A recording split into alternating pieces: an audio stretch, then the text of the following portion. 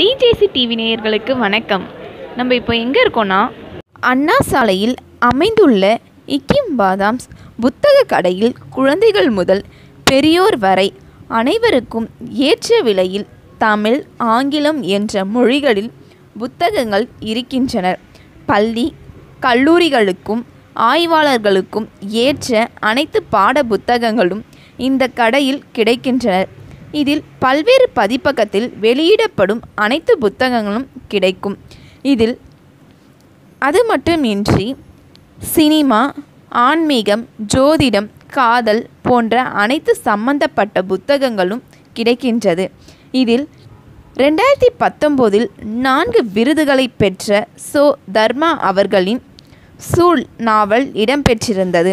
இந்த நாவலில் பிரிட்டிஷ் ஆட்சியினர் விவசாயிக்க விவசாயிகளுக்காக கூட்டுப்பண்ணை செயல்பாட்டை பற்றிய ஒரு அமைப்பை ஏற்படுத்துமாறு பிரிட்டிஷ் ஆட்சியினர் தெரிவிக்கின்றனர்.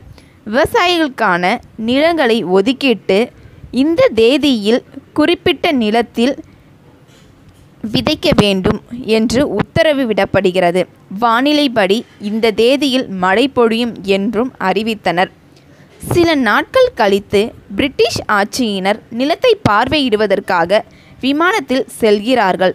அப்பொழுது எந்த ஒரு நிலத்திலும் பயிர்கள் முளைக்கவில்லை. சிறிது தூரம் கண்ணுக்கு பசுமை நிறைந்த காட்சி தென்பட்டது. அந்த நிலத்தில் மட்டுமே பயிர்கள் வளர்ந்து இருந்தனர்.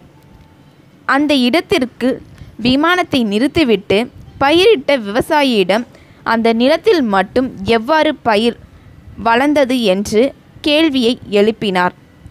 அதற்கு அந்த விவசாயி தாத்தா அப்பா காலத்தில் இருந்து வானம் பார்த்து வளர்ந்தவங்க. மழை எப்பொழுது பொழியும் என்று எனக்கு தெரியும். நீங்கள் கூறிய தேதியில் மழை வராது என்றும் எனக்கு தெரியும். அது மட்டுமின்றி நான்கு அடியில் விதை விதைக்க வேண்டும் என்று கூறினீர்கள். அதற்கு மாறாக ஆறு அடியில் விதைத்தேன். மழை பொழிவிற்கும் விதை விதைப்பதற்கும் உரிய காலமாக இருந்தது.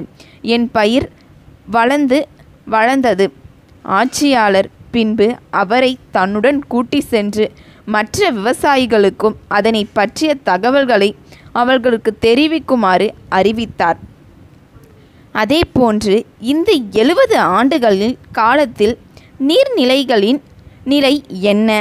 கடவுள் நம்பிக்கை அரசாங்கத்தின் நிலை போன்றவற்றை குறிப்பிட்டுள்ள இந்த கதையை தழுவியே இந்த நாவல் விவசாயிகளின் பகுத்தறிவை விவரி விவரிக்கின்றனர்.